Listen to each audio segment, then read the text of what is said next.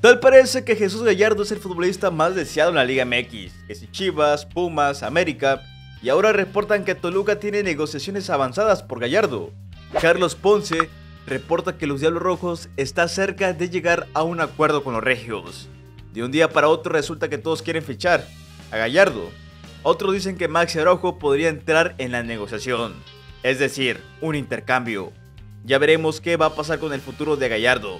Y nos quedamos con Monterrey porque medio tiempo señala que Oliver Torres estaría cerca de ser nuevo refuerzo de Monterrey. Las negociaciones se encuentran muy avanzadas, según los reportes. El jugador apenas anunció su salida de Sevilla. Oliver fue compañero de Tecatito Corona. Ha pasado en equipos como Atlético de Madrid, Porto, Villarreal. Y ahora su futuro estaría en la Liga MX, mientras que César Luis Merlo ya lo da por hecho. César Luis Melo reporta que Santos ya hizo una segunda oferta a Monterrey por Rodrigo Aguirre. Ambos clubes se encuentran negociando el fichaje del jugador y en los próximos días podrían llegar a un acuerdo.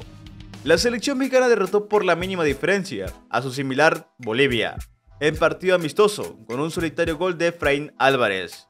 El tricolor cumple con el partido molero en Chicago. Empezaron muy fuerte, tuvieron varias opciones, pero, pero sí hay jugadores que te van dejando un, un gran sabor de boca. No me gustaría decir un nombre, pero hay dos cuatro que creo que a mí hoy me dejan muy contento.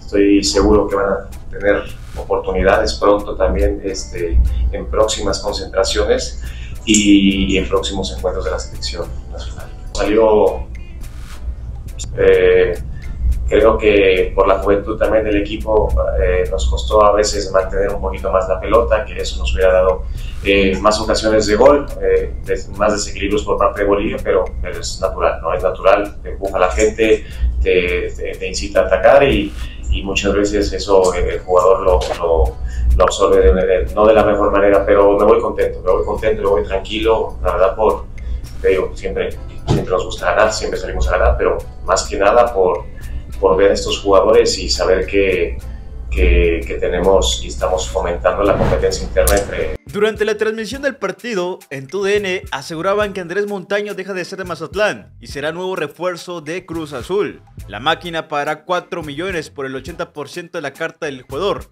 Ya está todo arreglado, así lo asegura Chibran Araige. Pachuca recibió serenata previa a la final de Coca Champions. Los Tuzos de Pachuca va por su sexto campeonato en esta competición.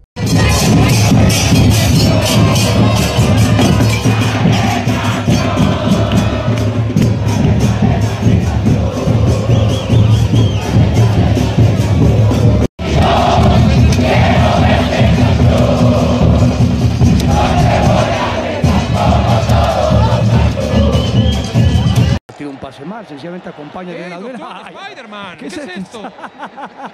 Donde las arañas hacen ah, su nido.